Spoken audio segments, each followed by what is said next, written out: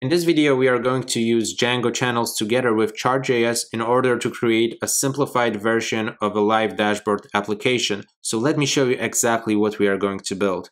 I'm going to access this XXX space. We can add a new one over here, but first let's access the existing one. Over here, we have a randomly generated user. So the idea is that if you are logged in, it will give you back your user but if you're not logged in, which is a case for me, it will generate random users. So if I go to the same space, to the same room, over here I have Mr. Mark Frank, and then over here I have another random user, Amanda Klein. If I'll put here 100, we will see everywhere. So each user will see a chart that Amanda Klein has contributed 100, let's say dollars, okay? So now if Lisa Lynch adds 20, we will see an update. Also, each user will see this update, okay?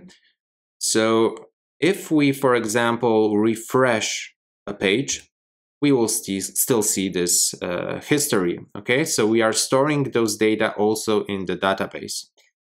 So right now what we can do is to create a new space. Let's call it ZZZ. We are taking to the ZZZ space and I'm just going to put over here 1000 as Janice Terry. And now if a new user joins the space, Nicole Schroeder, she sees that Janice Terry has contrib contributed 1000 she can add 200 she can add 1200 and right now Nicole Schroeder in total has 1400 while Janice Terry has 1000 so this is what we are going to build and I hope you guys will enjoy it. If you do please consider subscribing to the channel. And yeah without further ado let's get started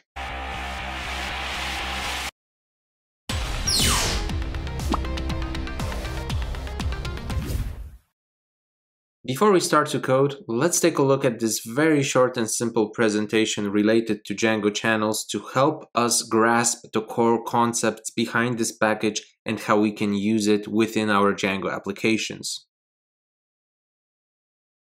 So the first thing that we need to ask ourselves is what are actually Django channels? And this is an external package that needs to be installed in order to provide the functionalities related to real-time communication within our Django applications.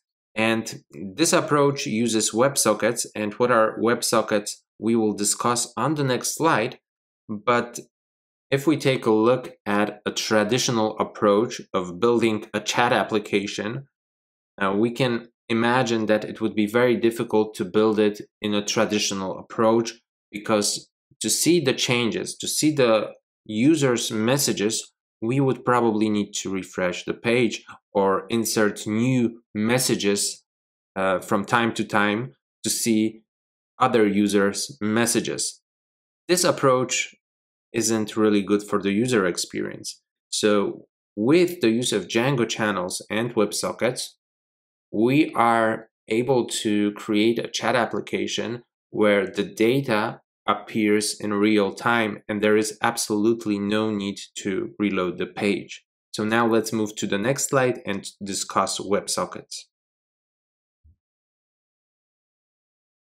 So WebSockets is a protocol, communication protocol, or you can say communication technology between the client and the server and it's bidirectional. So instead of having a standard request response, we have a bidirectional communication between the client and their server. Mm-hmm. And this communication lasts that long until the client or the server decides to cancel it. So let's imagine that the computers that you see over here are users that are typing in a specific room about, for example, sports or programming. What happens is that whenever a user decides to send a message, it goes through the server and then it's being broadcasted to all the uh, clients, all the computers. And with the use of JavaScript, we can then actually grab this message and update the document object model of each client in that particular room. So we will see real-time messages and we will see what users are typing in real time without the need to reload the page. And if we would like to make this example a little bit more advanced, which we will in this particular tutorial, we can add a database so that we can actually store these messages which are associated with a particular room because we can have many rooms, of course. And then whenever we refresh the page by accident or on purpose, we will also see the entire history of those messages. So um, one thing that is quite important in this particular case is to have at least basic knowledge of JavaScript. If you haven't worked with JavaScript, or if you haven't worked with Django and JavaScript, I would recommend you to check out my courses related on this topic. And the one on the right is a free one. You can find it on YouTube. I will place the link in the description below. And then we have a full version of this course, which is available on Udemy. And of course, the link will be also in the description below. If you know uh, JavaScript and you know how it works with Django, you can of course skip this particular part. Next, let's talk about WSGI and ASGI. Both are Python interfaces for serving web apps, but WSGI stands for Web Server Gateway Interface and can handle synchronous requests only, while ASGI stands for Asynchronous Server Gateway Interface and is capable of handling asynchronous requests. So Django supports both WSGI and ASGI, and if we would like to switch from WSGI to ASGI, which is required for Django channels, we need to change it in the settings PY over here. And then we need to um, make some changes to our ASGI PY file, uh, specifying which parts of our application should handle different types of requests. So over here we have the HTTP standard requests, as well as the WebSockets. The next topic on the list are channel layers, and this is the heart of every Django channels application. Channel layers allow Django channels to handle and manage real-time data exchange between the client and the server. They support multiple simultaneous connections, making it easier to handle large numbers of clients and data flow. And Redis is usually the backend for channel layers. It provides a reliable and efficient way to store and access the data. So you can think about channel layers as a simplified solution for applications uh, to have many people sending and receiving messages at the same time without any confusion, without getting mixed up. And in the settings PY, we need to remember to include the settings for the channel layers. We need to specify the backend. And we also need to remember to define where the Redis server is located and on which port it is running, okay? So now let's take a look at what are the necessary steps in order to have Django channels working within our Django project. So we can create a new Django channels project or we can use the existing one. The thing is that we need to remember to install the necessary packages and in our case that is channels and channels redis. Then we need to add a WebSocket component defined as protocol type router to the default Django application in the ASGI file. So we saw this in, on the previous slide. And this will allow to handle WebSocket connections, enabling real-time communication between the server and the client. So next we need to create a consumer that will handle the WebSocket connections. And a consumer is like a view in a traditional Django application. So consumers are Python classes that handle WebSocket connections and receive and process data sent from the client. Speaking about the client, we also need to add a WebSocket on the client side. But before we do that, we can take a look at step number four, where we need to define the WebSocket routing in the Django project. And this involves creating a routing configuration that maps the URLs to consumers so that the correct consumer will be used for each WebSocket connection. And then we have point number five where we create the WebSocket on the client side. And this involves using JavaScript to create a WebSocket connection and sending and receiving data through that particular connection. In Django settings file, we need to add the channels to the installed apps list and configure the channel layer settings to use a channel layer backend. So in our case, it's going to be Redis. And then we simply need to start the Django development server and test the WebSocket connection. And then we have the last slide, which is related to a very, very simple demo connection. So let's go through it very quickly and then let's focus on the second part of the tutorial, coding. Okay, so over here we have a defined consumer. We have some methods that are inside of this consumer class. And then over here we have a file which can be called, for example, main.js.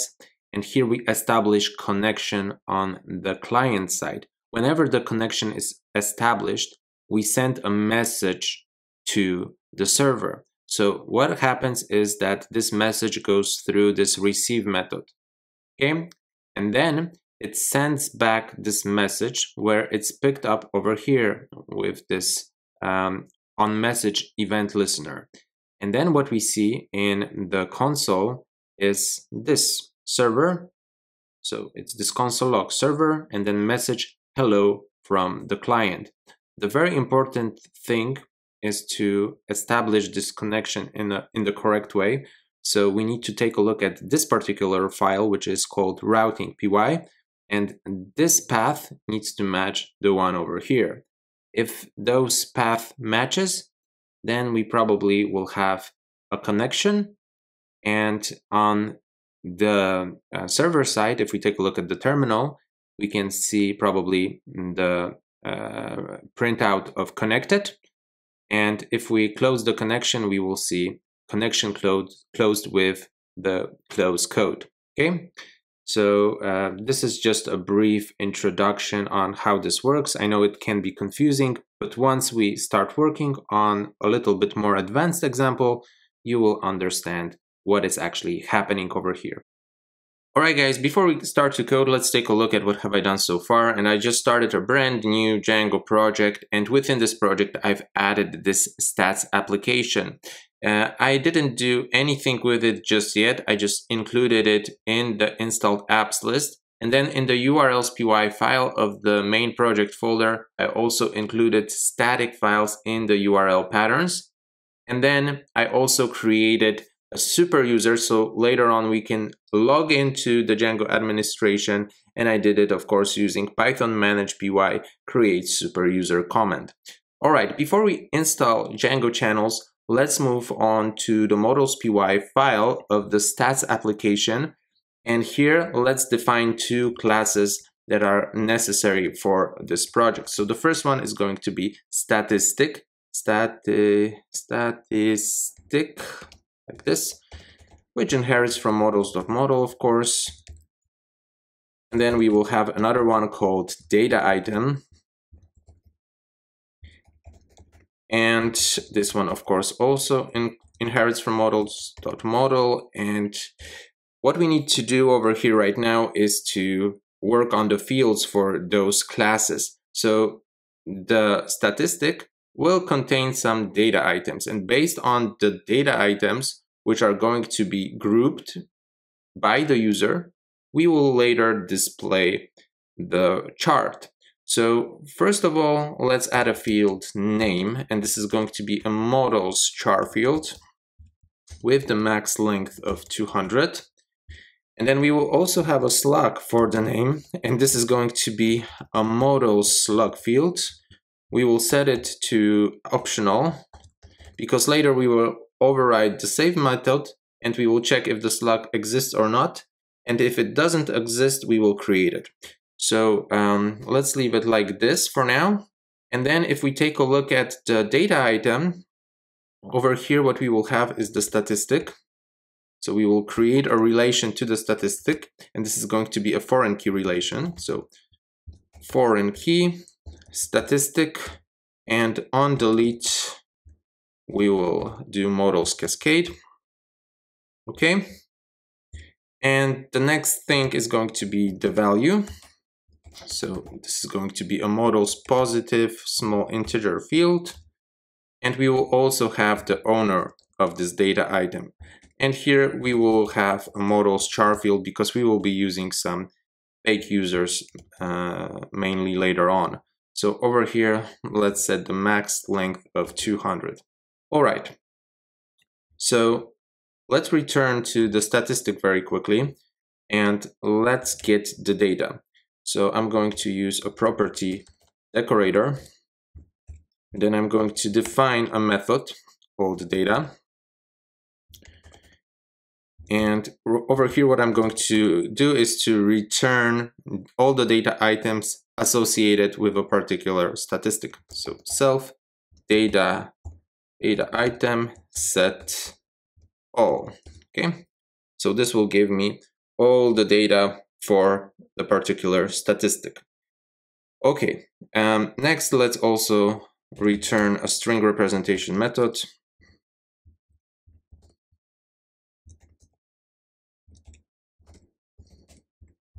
Let's just return the name. Okay, and as mentioned before, let's override the save method so we can actually create the slug. So over here, I'm going to write self, self, args and keyword args, And then super save args and keyword args. And in, inside the save method, we are going to check if not self slug. And if this is not the case, we will write self slug is equal to, and then slugify, which we need to import. So let's go to the top and here from Django utils text, let's bring in slugify. And here we can run slugify and then pass in self name. All right. So we have our um, save method overridden and also let's go very quickly to the data item class. And here let's also create a string representation method. Let's return and then maybe a f using a F string. Let's put in self owner and then self value. All right, let's go ahead and save this. Let's jump into the admin py file from dot .models, we want to import statistic and we also want to import the data item. And now we can register those models in the administration.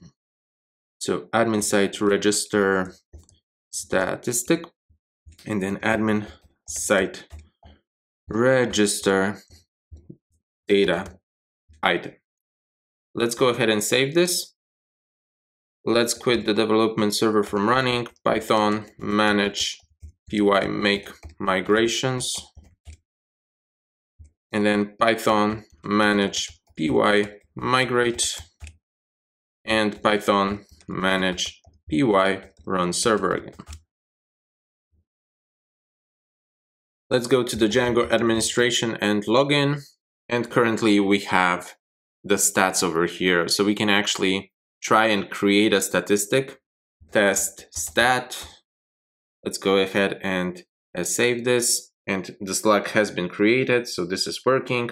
And then we can go to data items and we can try to add some uh, data item to this test statistic. So I'm going to put in 10 and the owner is going to be a test owner. Let's save this. Okay, we have this working. As the next step, let's go back to our terminal, quit the development server from running and install channels. So pip install channels and also channels redis. Okay, let's wait a few seconds. Now let's go back to Visual Studio Code to the settings py file. Let's add channels to the installed apps list. Channels, okay. Um, what I'm also going to do is to set the channel layer to handle real-time communication between different parts of the app. So uh, you probably remember from the presentation that we need to specify channel layers. and we are going to set the uh, Redis to store and pass messages efficiently in real time. Okay, so here is our Redis backend, and it is located over here on this particular port. So this is uh, for the channel layers. We also need to switch our application from WSGI to ASGI. So I'm going to do it right now. I'm going to copy this, comment this out, and then here I'm going to put in ASGI. And then also we need to remember to uh, change this over here from core ASGI. So right now we are going to not use this particular file, but this one over here. Okay, so let's save this. And basically, I think we are done uh, in the settings PY. What we need to do next is to go to this ASGI file and we need to continue work on our configuration for Django channels. So what I'm going to do is to copy um, the piece of code that you saw on the presentation, and I'm going to simply paste it over here. So um, right now we don't have the routing py file, so let's create it very quickly in the stats application. So let's write routing py. We will work on it just in just a few seconds. And over here, we have specified that the HTTP requests are going to be handled by the Django ASGI application, while the WebSocket requests are going to be handled by the URL router with the allowed host origin validator and auth middleware stack. Okay, so with those two uh, middleware layers.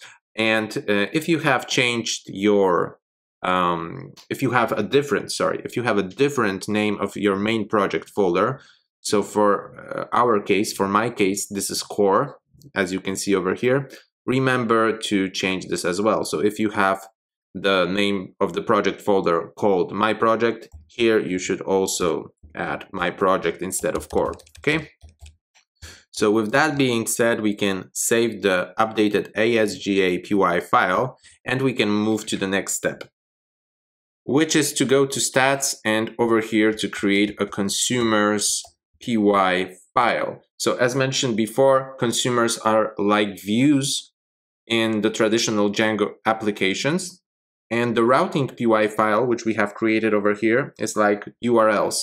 So uh, first of all, we want to create a view, then to map it in the routing.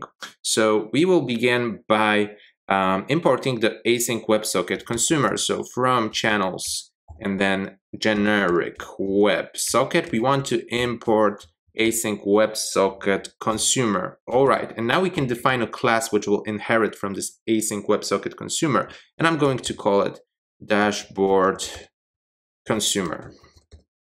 Okay, so as mentioned before, it will inherit from async web WebSocket consumer. And here we can define a few methods necessary for this all to make sense. So the first one is going to be the connect method.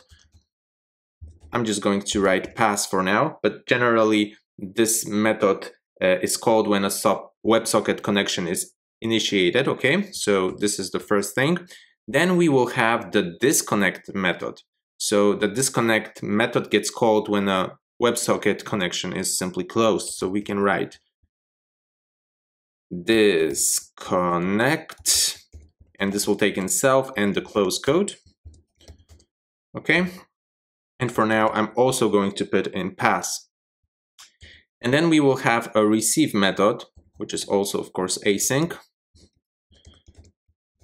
And this will take in self and text data.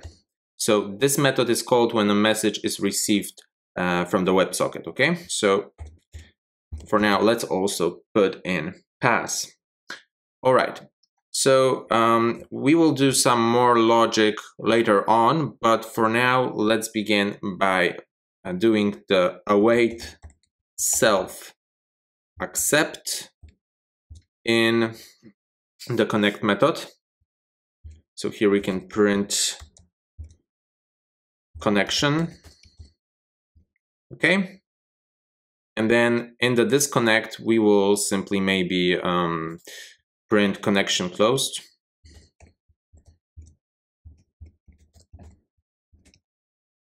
all right? Or we can use the f string and then connection closed and we can put in the close code. So connection closed with code, close code, all right?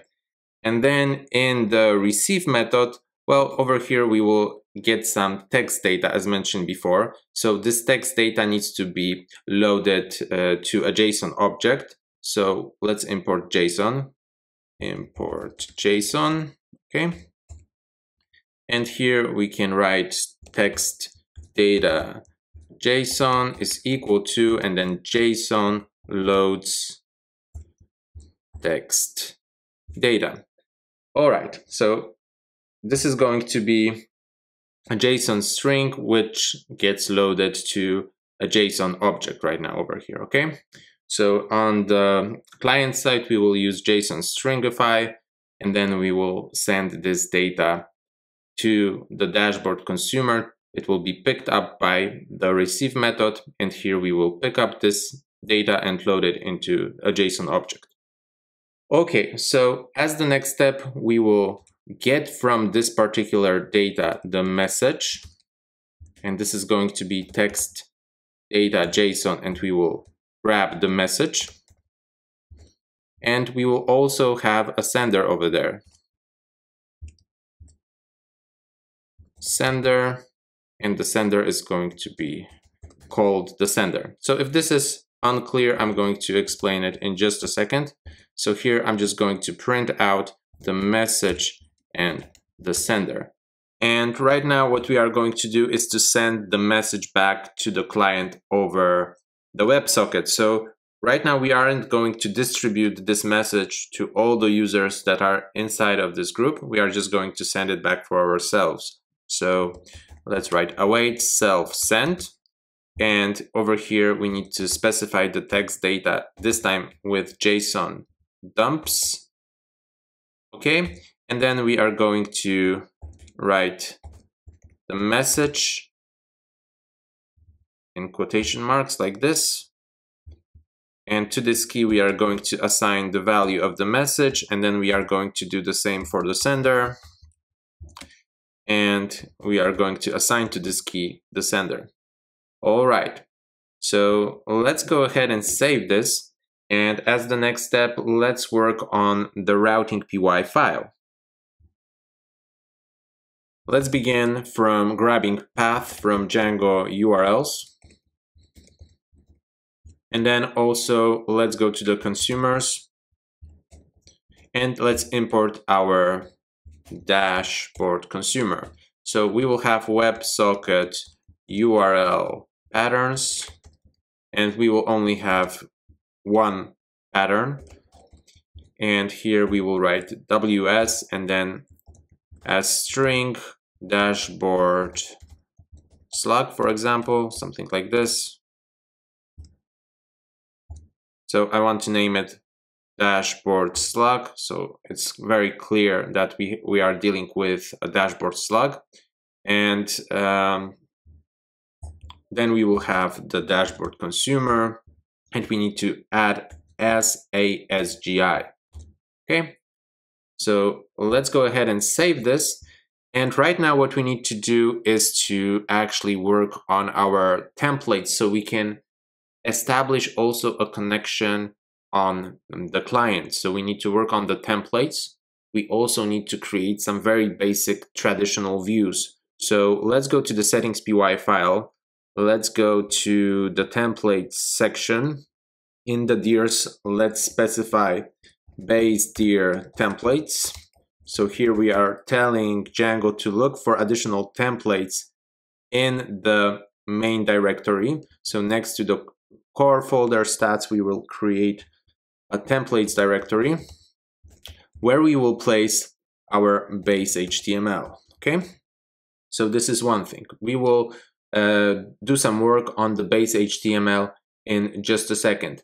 As the next step, let's actually go to our um, stats application to the views py file. And over here, let's create two views. The first one is going to be main which takes in a request. And over here, I'm just going to return render, and then we are going to pass in the request, and we are going to use the stats main HTML. So in a second, we are going to create those main HTML, those HTML files. And then we are going to put in for now an empty dictionary because currently we don't have anything to pass to the template. Okay, this is the first view. The second one is going to be the dashboard. So let's write dashboard. And here we will have a request and a slug. And let's also return render. Let's pass in the request. And this time we will be using stats dashboard HTML. And for now, we are also going to put in an empty dictionary, okay? So now in the stats, let's create another directory called templates. Inside of this templates directory, let's create another one called stats. And then let's place in the main HTML from over here. And then the dashboard HTML. Dashboard HTML. Okay. So both of those file files will inherit from base HTML and the base HTML is just going to be an ordinary bootstrap starter template, which I'm going to paste. And as you can see, we have some adjustments over here made, very small ones. We have a div with a class container margin top, and inside we have a block content for um, template inheritance purposes. And then we also have the block scripts over here. So this is basically it. We can now save the base HTML and inside of the dashboard HTML, we can write extends base HTML, and then we can write block scripts. And for now, let's leave it empty. And let's also write block content. And for now, let's put in hello world.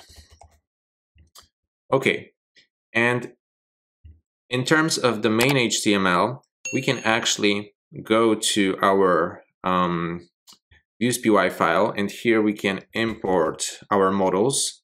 From dot .models, we want to import statistic and then data item. We already created one statistic in the Django administration, so we can write qs is equal to and then statistic objects all, okay?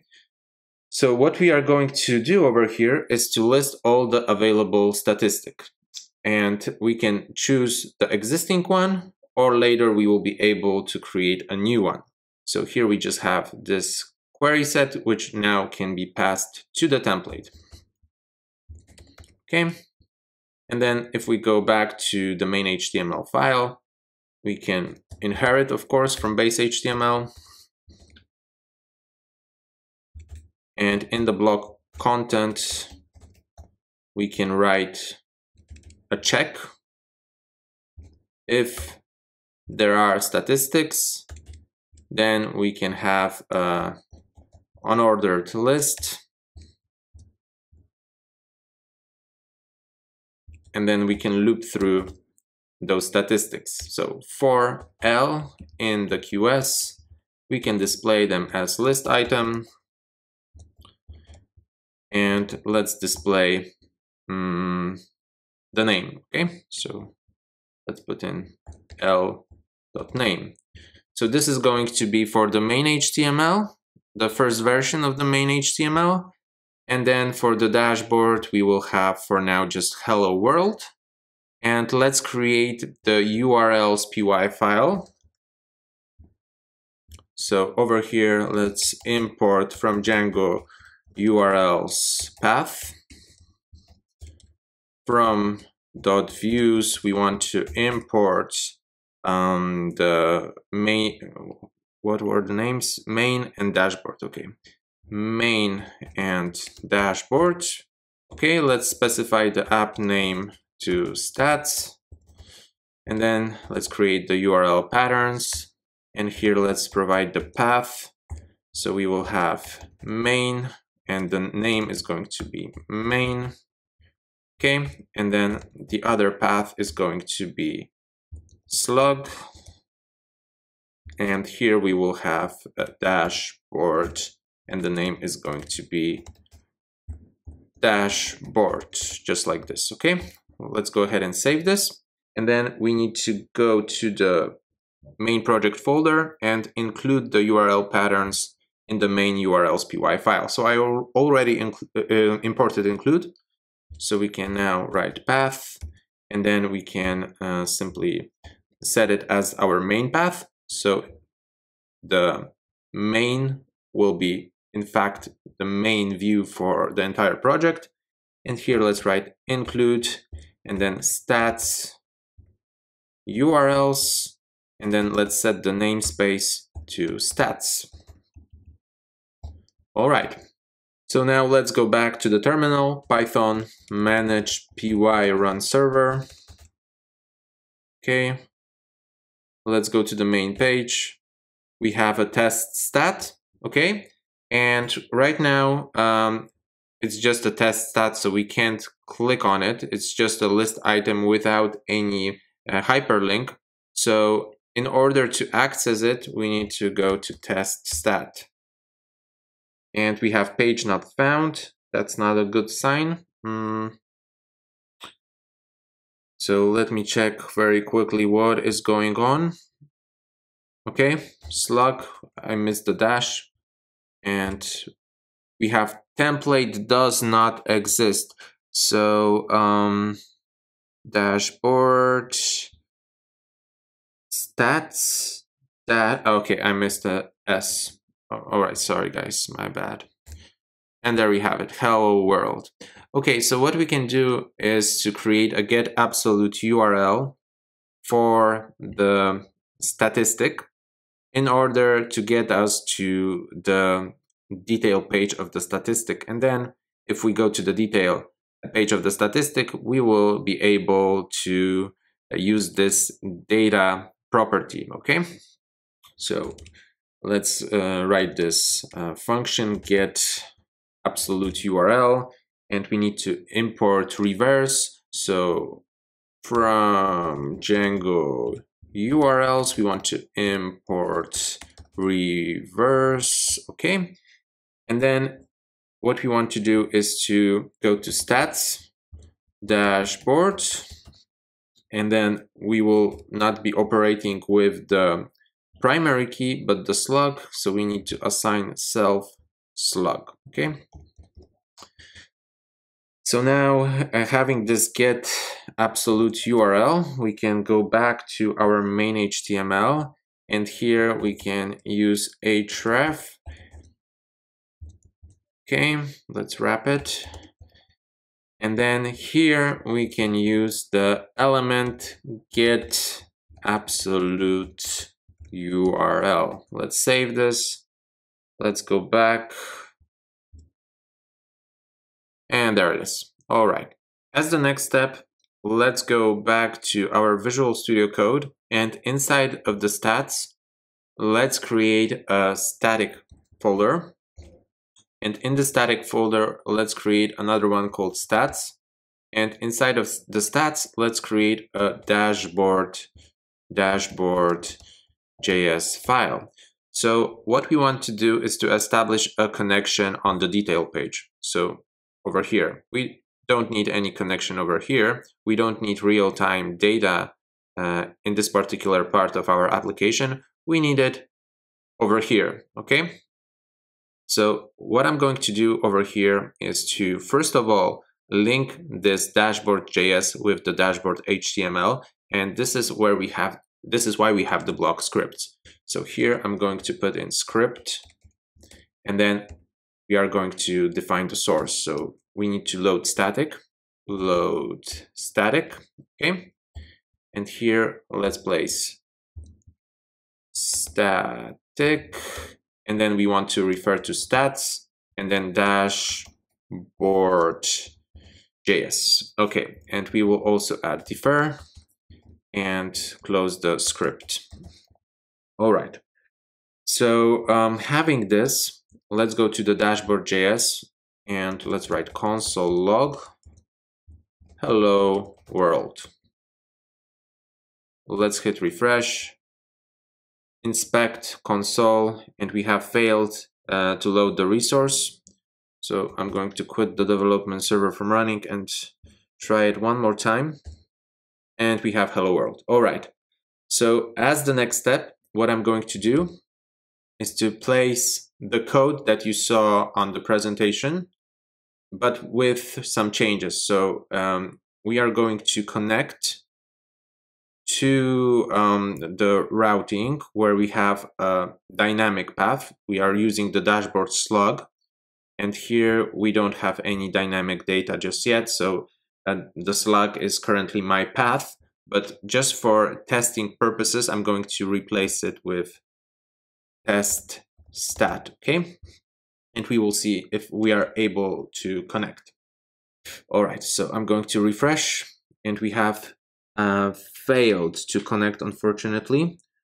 All right, guys, so um, I did resolve this issue. Um, what you need to do is to run in the terminal pip uninstall channels redis and then run pip install channels redis version 341 so to be honest i don't know why isn't it compatible. However mm, if we downgrade it everything should be working. So what we can do next is to simply console log the socket okay let's save this let's reload and here we have the WebSocket. However, we aren't getting any response just yet. So if we go to the terminal, if we take a look at the views.py file, sorry, not the views.py, but the consumers.py file, um, we don't see um, this message and the sender. So what I'm going to do is to simply comment this out. I'm going to print out the text data JSON.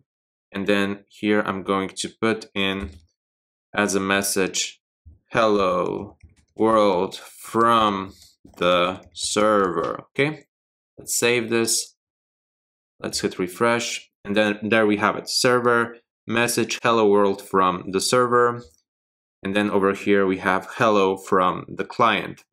So um, if we take a look at the connection, we have it over here. And then if I close this, I'm just going to copy it very quickly. We have connection closed with code 101, okay?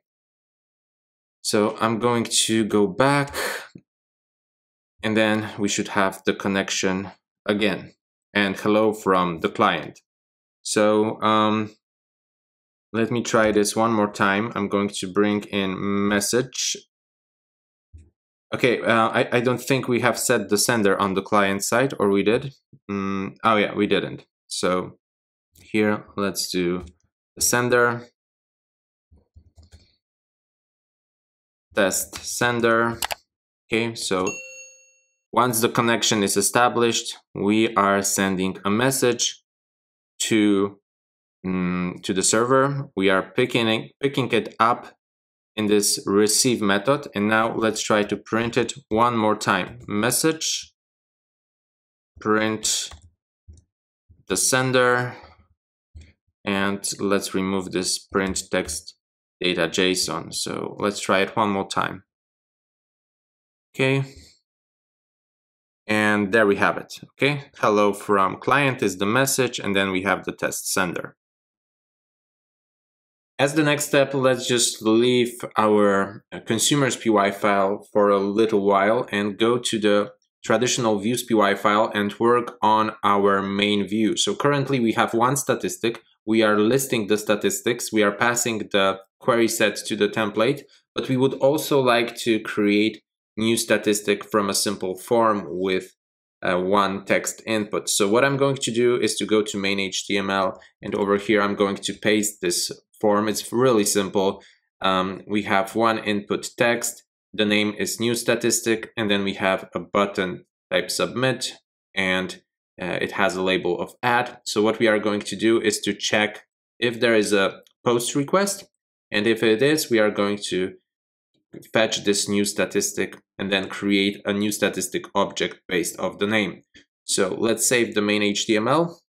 Let's go to the views.py file and below the QS, let's write if request method is equal request method is equal to post, then what we are going to do is to grab this new statistic. I'm just going to call it new stat. This is going to be request post get and then new statistic.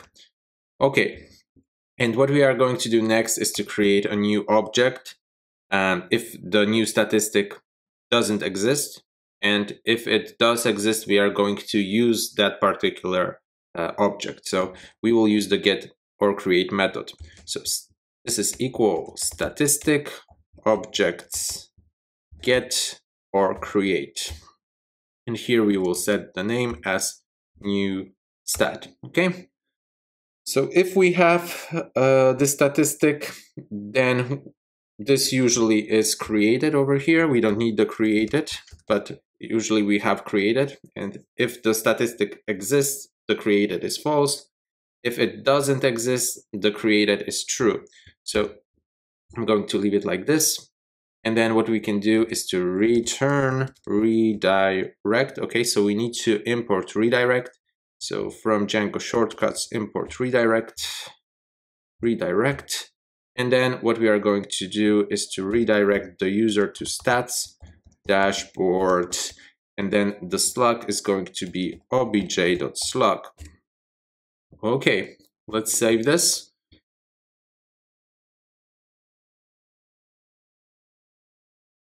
Hello world, add, and we are taken to the hello world page.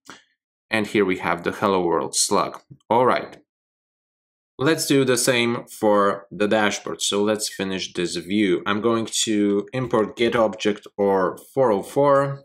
And here what we are going to do is to set the obj based on get object or 404. We are going to try to get the statistic based on the slug. So slug is equal to the slug that we have over here. All right, so we are getting the object and then what we are going to return to the template are a few things. We could um, we could simply return the object, but I'm going to refer to the object name. I'm going to refer to the slug as obj slug. And then I'm also going to refer to data as obj data. And then we will have the user. So here what we can do is to write request user username if request user dot username and in other case we are going to use the faker package to generate fake names so let's quit the development server from running pip install faker all right and then what we need to do is to go back to visual studio code and what we need to do is to import faker from faker. So import, uh, sorry, from faker, import faker. We need to instantiate faker. So fake is equal to faker. And now what we can do over here is to write fake name like this, okay?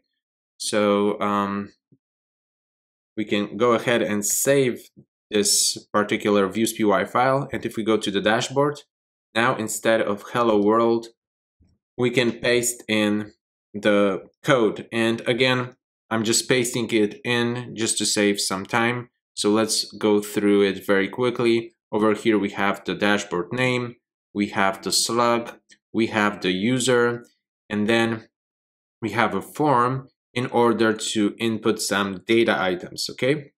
So we have um, input data input and with the ID data input and the type is number and then we have just a button to submit the form. And then we have um, another column for the Chart.js. So what we need to do is to also grab the CDN for the Chart.js. I'm going to paste it in the block scripts above the stats dashboard. Okay, I'm going to save this and then I'm going to hit refresh and we need to run the development server. Okay, and here we have it. So we have the slug, the user, and the form to input the data. We don't see the chart just yet. Okay, we will um, we will uh, focus on loading the chart a little bit later. All right. The problem right now is that um, we have this test stat URL. And right now, currently, we are at the hello world. So if we go to the routing and change the slug to hello world, so just to show you, here we have test stat, and then the routing is hello world. Right now we will have a problem. So um, let me reload the page and we have WebSocket connection to uh, this particular path has failed. So how can we fix this? Well, we can grab the slug that we passed over here. So I did it just to have a very simple example.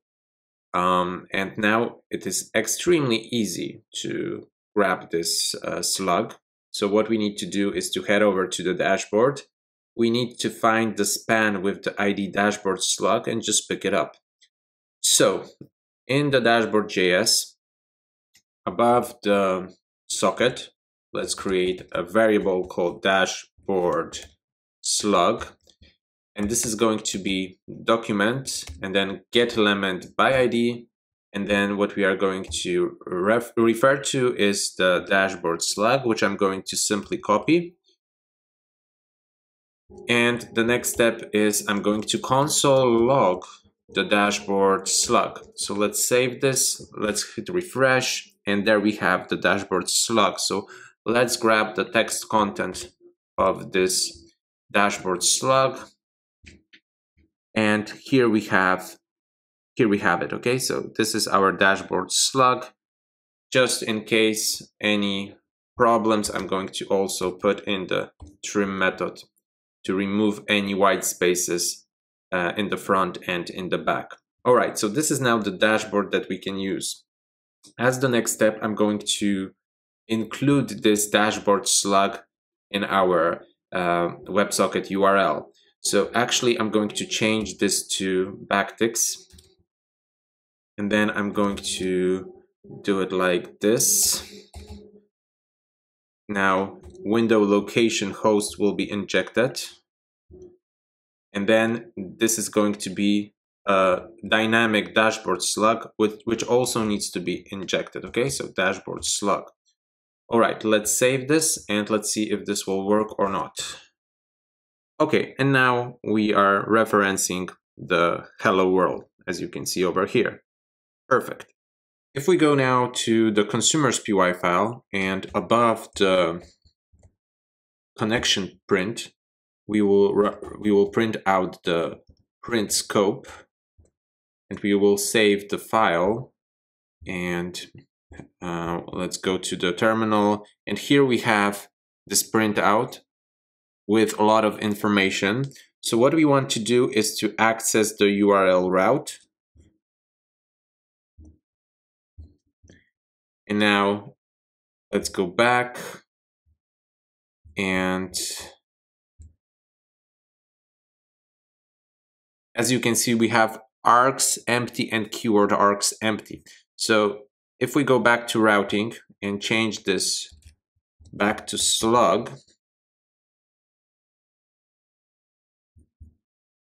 we will see that the kwargs is now, the keyword arguments consist of a key slug and the value hello world. So we can get this dashboard name from the URL route parameters. And then we are going to store this name as an instance variable for later purposes, okay? So let's do it very quickly. I'm going to remove those prints. And then I'm going to set the dashboard slug. And this is going to be self scope. And then we need to access the URL route and then the keyword arguments. And then we need to access the dashboard slug, or in our case, it's going to be just slug. Because if we go to the routing, we have slug. So I'm going to call, change it to dashboard slug. Dashboard slug. Okay, like this, dashboard slug. And now if we go back to the consumers, it's going to be dashboard slug. All right. And as mentioned before, we will store this in an instance variable and we will need it for later purposes. So self dashboard slug is equal to dashboard slug. Okay, as the next step, we actually need to create a room group name using the dashboard name. And I'm actually going to use the dashboard slug for this particular case.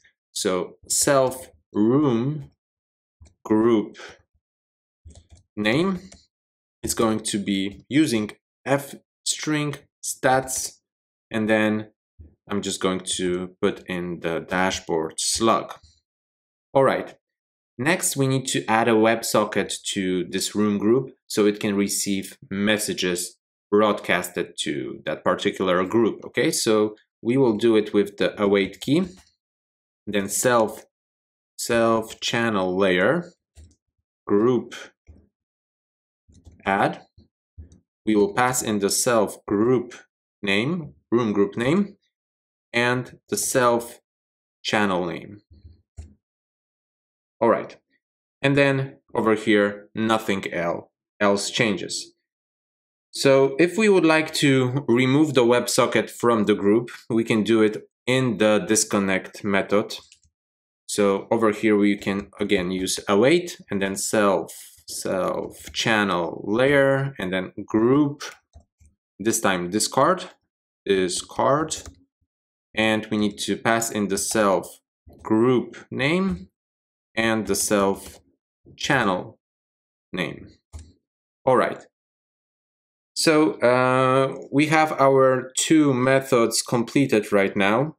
What we can do next is to focus on um, broadcasting the messages to all the consumers in the group. So what we have right now is a situation where we send the message back to ourselves. So let's take a look at this. I'm going to, first of all, I'm actually going to log out. Okay, so right now we have server, message hello from the server, and the user, as you can see, is fakely generated. I'm going to copy this, then I'm going to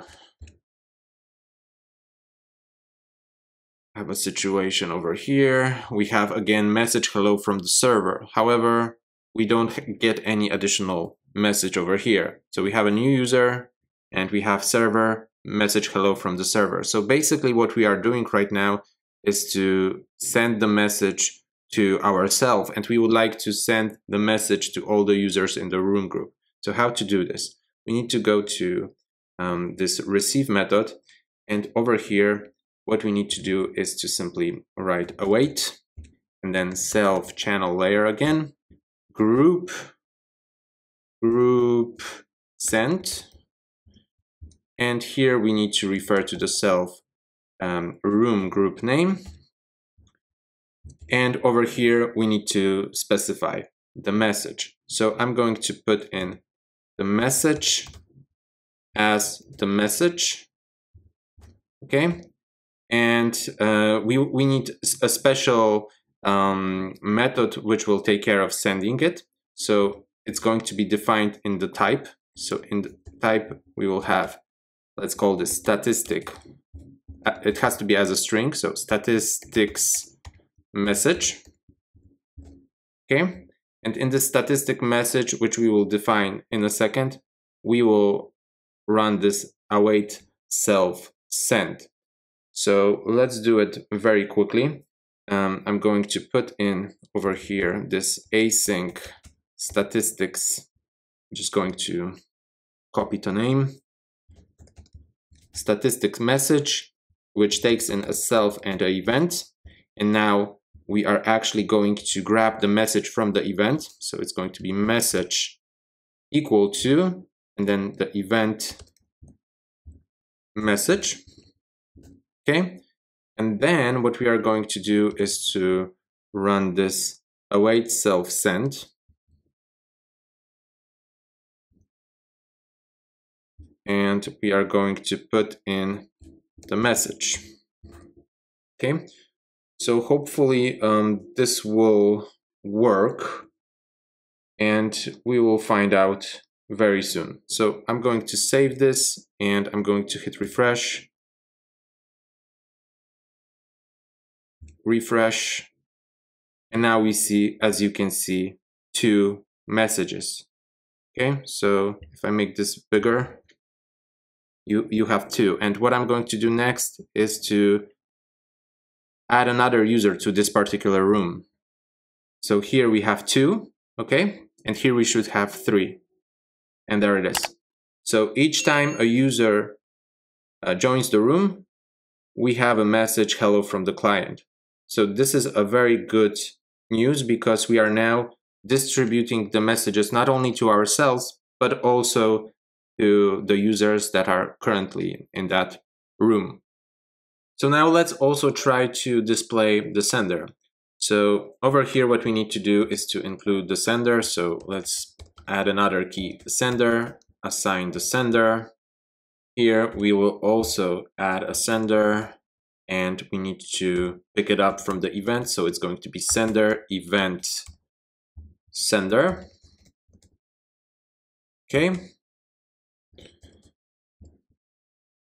And then we need to go back to our dashboard.js and uh, here we have the event data. So what we can do is to grab the sender and the message from the event data.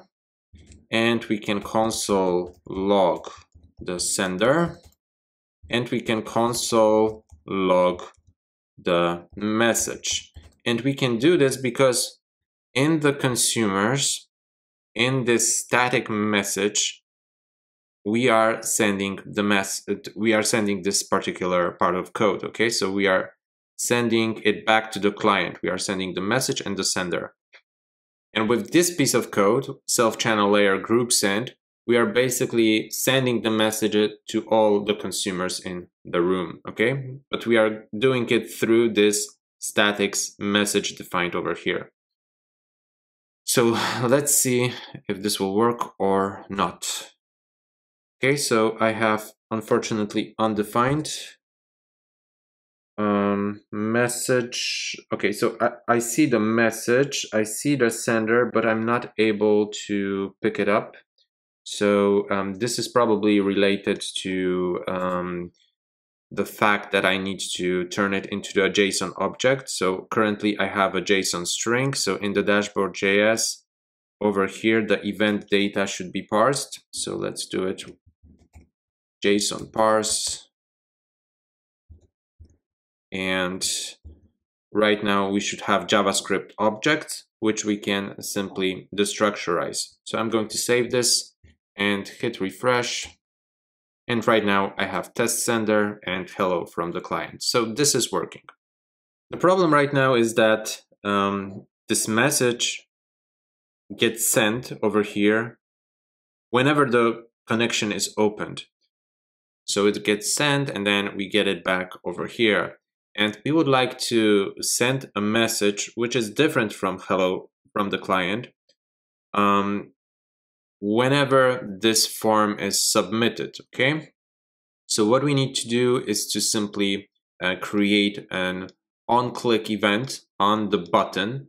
So let's first grab the submit button from our dashboard. The submit button is located over here. I'm just going to grab it. All right. And I'm going to go to the dashboard.js And over here, I'm going to create a new const, submit btn, and this is going to be equal document get element by ID and submit btn. All right, so with the submit btn, submit button, we can now run a add event listener on it. So submit btn add event listener and we want to listen on the click event. So whenever this button gets clicked, we want to execute some code. And first of all, we are going to grab the, uh, the value which will be in this particular input. So again, we need to grab this input and we can do it by going to the dashboard again. And here we have this data input. So in the dashboard.js, let's create a new variable called data input. And this is going to be document and then get element by ID and data input. Okay, so right now what we can do is to actually uh, refer to this data input and store it in a separate variable. So somewhere over here, let's create a variable data value is equal to data input dot value, just like this, okay? And then what we need, what we can do is to grab this socket send and put it over here. And the message is not going to be the hello from the client. It's going to be whatever comes through that particular input. So in our case, it's going to be the data value. And then we will also need the user. So the user needs to be defined as well. So let's create a new variable user. And this is going to be uh, going to the dashboard, the user from over here, okay? So um, let's grab it and then document, get element by ID. Let's pass in the user, text content, trim. Okay, I'm going to place it below the dashboard slug and then we can use it over here. All right, so let's save this. Let's refresh. Okay, we don't have any messages. And now if I run I, okay, I'm going to also refresh all the pages. And of course, I can't put in high because this is a number input. So I'm going to put in 10. And there we have Anthony Anderson and 10. Okay, so this is working and it's being broadcasted, it's being sent to all the users in this particular space. Great. Okay, so what we want to do next is actually grab the sender and the message and display it below the form, okay? So how can we do this? Well, if we delete the console log over here, we will refer to a special place which we need to define in our dash dashboard HTML and we are going to simply add the sender and the message as a paragraph. So first of all, in the dashboard HTML, below this div with a class row, let's put in a div with the ID data box. In the dashboard.js, let's create a new const called data box, and this is going to be equal document get element by ID data box, okay? And right now we can refer to this data box, data box inner HTML, and we can add a paragraph. So let's put in the paragraph and let's inject the sender and also let's inject the message. Okay? And let's also delete the socket on open since we don't need it anymore. And we can also delete this console log uh, with the data from the server okay so let's save this I'm going to refresh the page everywhere. Okay, we don't see any uh, more uh, console logs. And then what I'm going to do is to put in 12. And there we have Melissa Bernard 12. And then if we go over here, we see Melissa Bernard 12, Melissa Bernard 12. If I put in as Danielle Taylor 20, then we see Danielle Taylor 20, Danielle Taylor 20, and Danielle Taylor 20. Perfect. Now the problem is that if we refresh the page, we lose the history. Okay, so let's return to the consumers. And somewhere down below, we are going to create some additional methods. The first one is going to be uh, create data item method, which will take in self, self sender message and a slug okay? And the other one is going to be an async method. And here we will have a save data item as the name. Okay, and this will take in also self, sender, message, and a slug. So if we need to create a new data item, this is the case for us, we need to use a synchronous function. And we will use the database sync to async decorator, which is used to allow a, a synchronous function to interact with the database. So what is going to happen over here is we, that we are going to use this database sync to async. We are going to create a data item over here, and then we are going to call the create data item method asynchronously from this particular uh, method. And this method will be called in the receive method.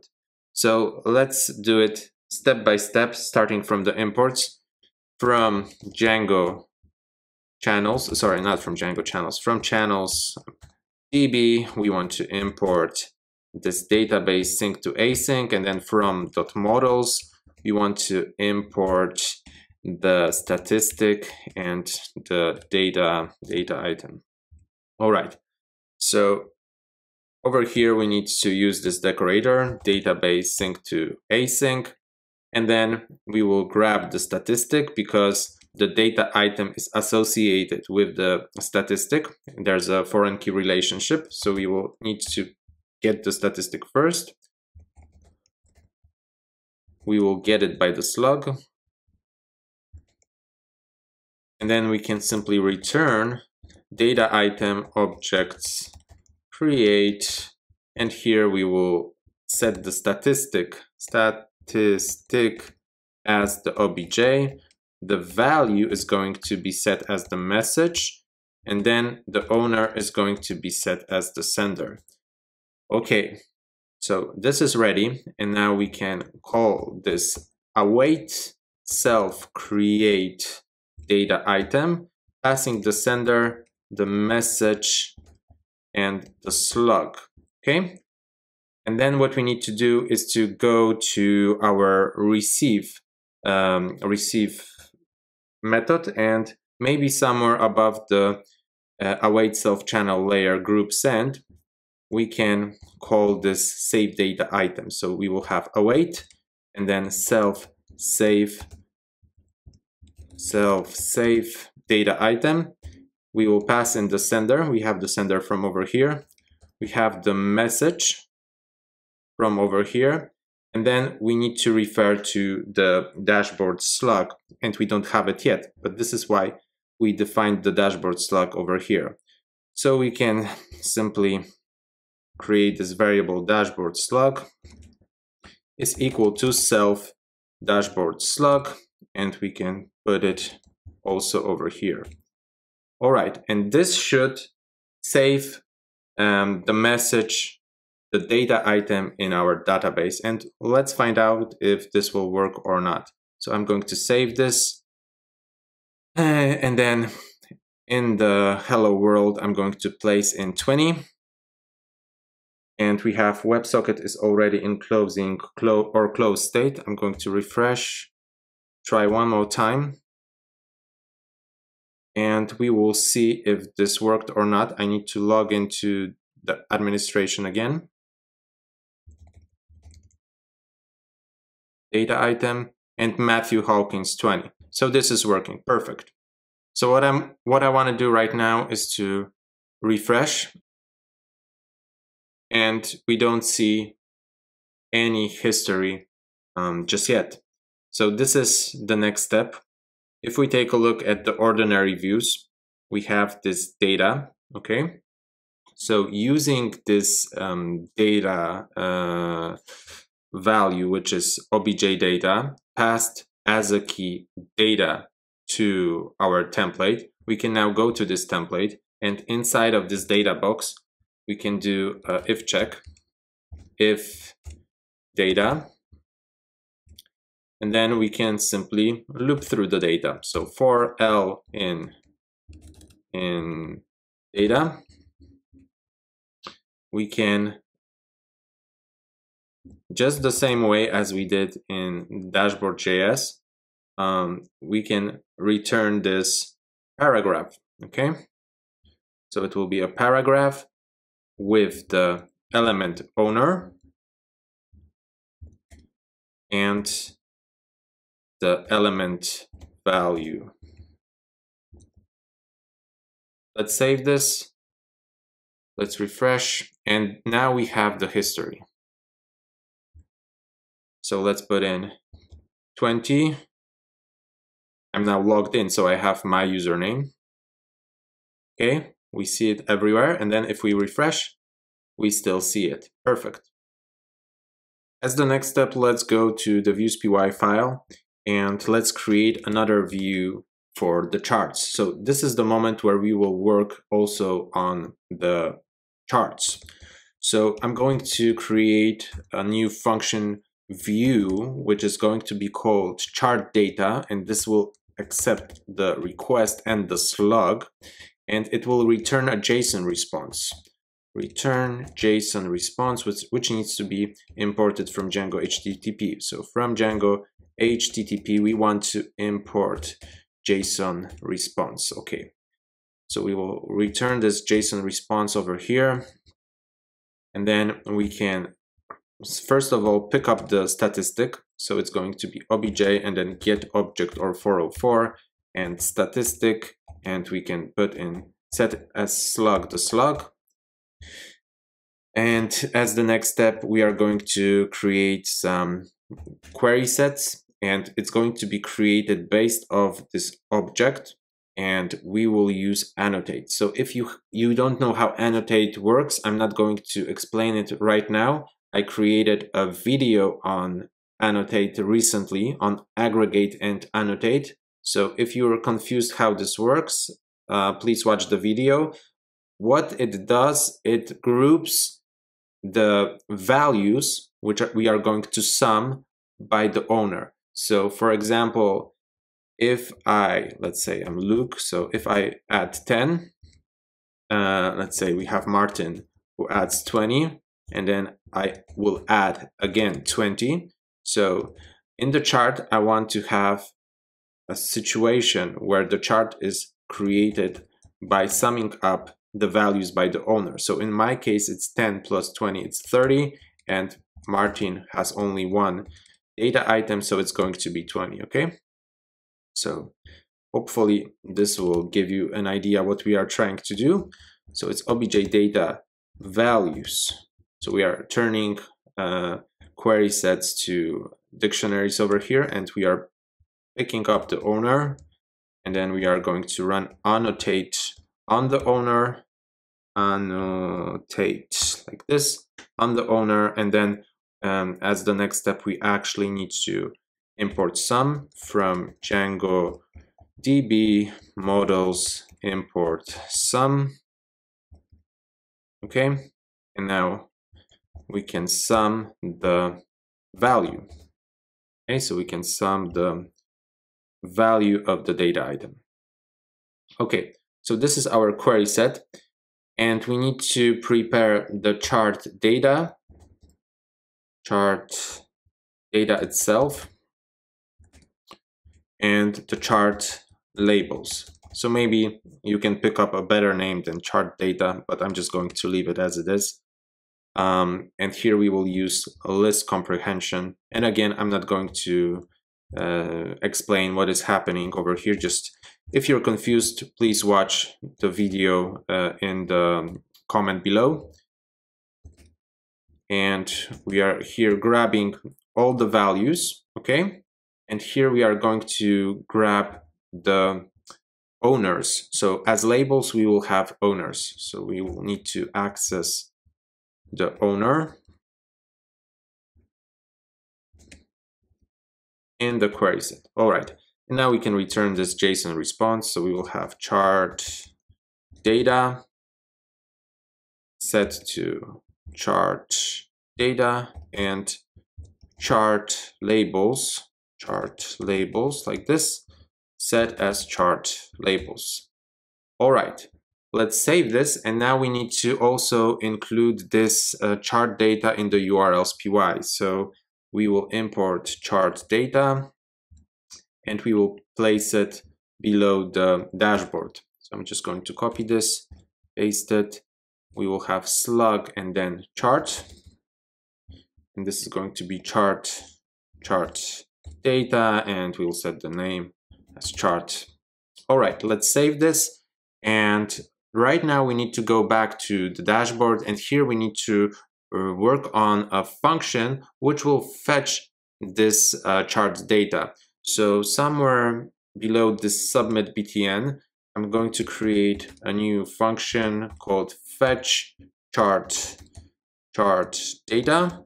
And this is going to be an async function because we are going to use the fetch uh, fetch uh, function, which basically returns a promise, and we want to handle this promise with this async await syntax. So I'm going to make it extremely simple. It's going to be uh, a response variable assigned to await fetch.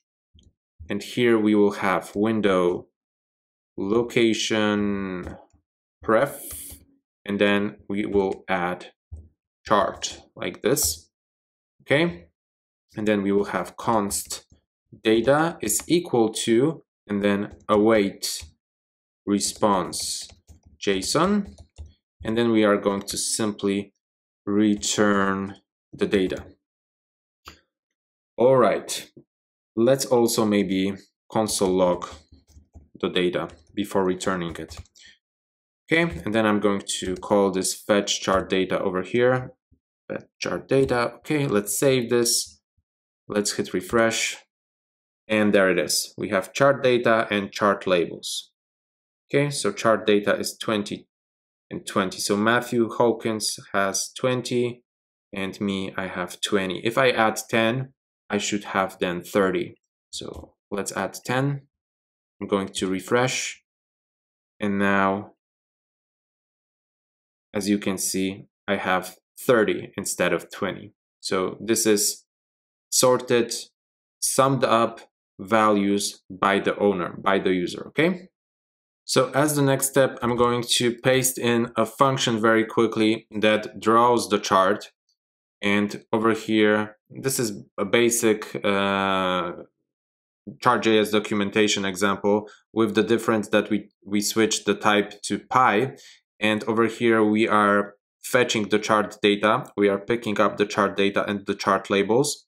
And then we are assigning the, la the chart labels to labels and the chart data to data. So one thing is also missing that we need um, the context uh, grabbed from the dashboard. We need to refer to this canvas with the ID my chart. So what I'm going to do is to put it over here okay? And now what we can do instead of fetching data is to draw the chart, okay? And there it is. All right, so this is working. Um, however, let's see if the updates work as well. Okay, so as you can see, nothing happened. To fix this, let's go back to Visual Studio Code. And here I'm going to paste a special function for updating the chart. it's going to be updated in a way that the previous chart is going to be destroyed. So over here we have this let chart variable. Here we assign the chart and here we are checking if the chart exists and if it does, it's get it gets destroyed, okay? And then what we do is to draw it once again. So we need to call this update chart in the socket on message, okay? So I'm going to save this. I'm going to refresh all the windows. And right now, I'm also going to log out. So I'm going to once again refresh all the windows. We will have different users. And I'm going to add 30. And as you can see, the chart gets refreshed. I'm going to add 40 the chart gets refreshed. And here it looks the same. And here it looks the same. And then if I add 500 over here, we can see that all the charts are updated. Okay, and we see all the data. And if we refresh the page, we also see the data. So this is it for this particular tutorial. I hope you guys enjoyed it. If you did, please consider subscribing to the channel and I wish to see you in the next video on the channel. Take care and bye bye.